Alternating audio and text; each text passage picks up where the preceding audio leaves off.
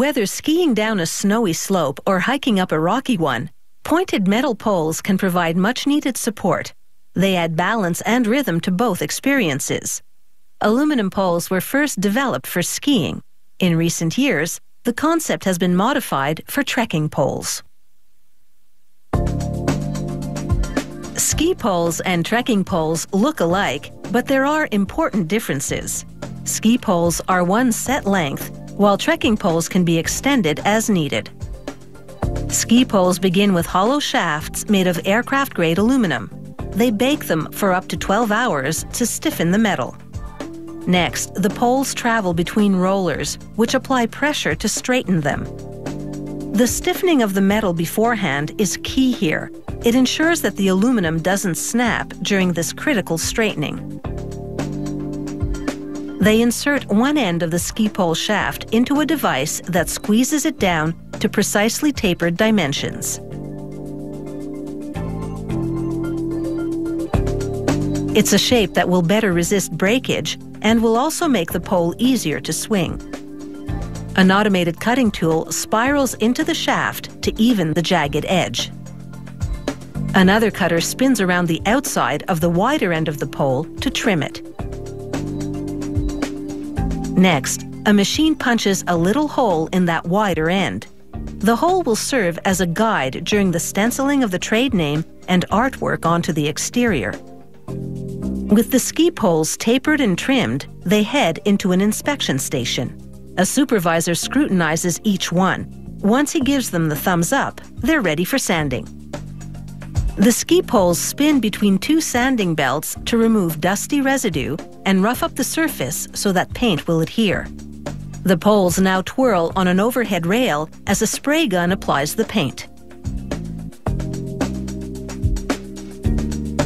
An automated tool then squeegees paint through stencils to transfer designs and lettering onto the poles. Each pass of the squeegee-like tool applies a different color, and this layering effect builds up the designs. The poles now head towards an acid bath. An electrical current ripples through the acid solution. This causes the poles to oxidize for a scratch-resistant finish called anodizing.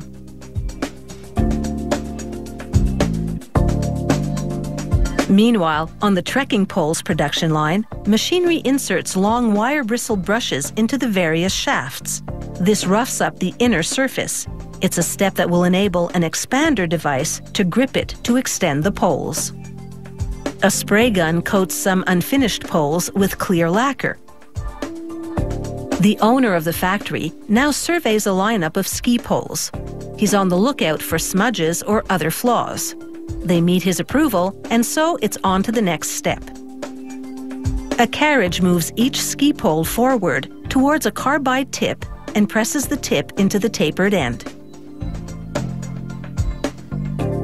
With this tough tip in place, the ski pole is now equipped to pierce any hard snowpack.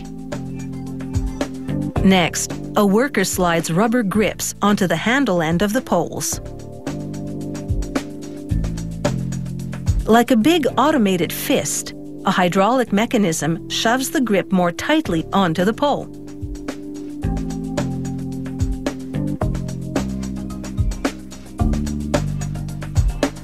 There are many different kinds of grips, each with a different look and feel, depending on the type of pole being made. Some ski pole grips even have clips for attaching gloves. Trekking pole shafts now roll down the production line. An automated arm slides plastic sleeves with carbide points onto the lower shaft section.